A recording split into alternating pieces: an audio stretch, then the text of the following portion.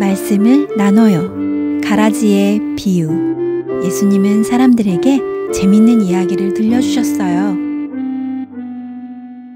하늘나라는 밭에 좋은 씨를 뿌린 것과 비슷합니다. 사람들이 잠을 자는 동안 원수가 와서 밀밭에 가라지를 뿌리고 갔습니다. 밀씨앗이 자라자 가라지도 드러났지요. 주인님, 밭에 좋은 씨를 뿌렸는데 저 가라지는 어디서 생겼을까요? 못된 원수가 그랬나 보군. 저희가 뽑아버릴까요? 가만 두어라. 가라지를 뽑다가 밀까지 뽑으면 큰일이다. 추수 때까지 내버려 두어라. 추수 때 내가 추수꾼에게 가라지를 먼저 뽑아 단으로 묶어 불에 태워버리라고 해야지.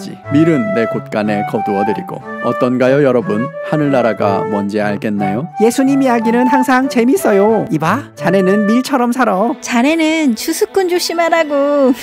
예수님, 그 밀밭의 가라지 이야기요. 자세히 설명 좀 해주세요. 가라지는 뭔가요? 저희가 추수꾼인가요? 저희 어디 가서 밀을 거두나요? 좋은 씨를 뿌리는 이는 하느님의 아들 같은 세상 좋은 씨는 하늘나라의 자녀 가라지는 악한 자의 자녀를 말합니다. 가라지를 뿌린 원수는 악마이고 추수 때는 세상이 끝나는 날 추수꾼들은 천사들이지요. 그렇다면 세상이 끝나는 날에 천사들이 가라지를 뽑아 묶어 불에 태우듯 그 날이 오면 하느님의 천사들이 남을 죄짓게 하는 자 악을 일삼는 자들은 모조리 가려내어 불구덩이에 집어넣을 겁 니다. 거기서 가슴을 치며 통곡하겠지요. 예수님, 좀 무서운 얘긴데요. 그때 의인들은 아버지의 나라에서 해와 같이 빛날 것입니다. 그러니 무서운 얘기가 아니지요. 들을 귀가 있는 사람은 알아들으세요. 이봐, 예수님 말씀대로라면 우리에게 기회가 있는 거야. 그러네 가라지가 아니라 밀로 살면 되는 거야. 우리 하느님의 곳간에 들어갈 밀처럼 살자고.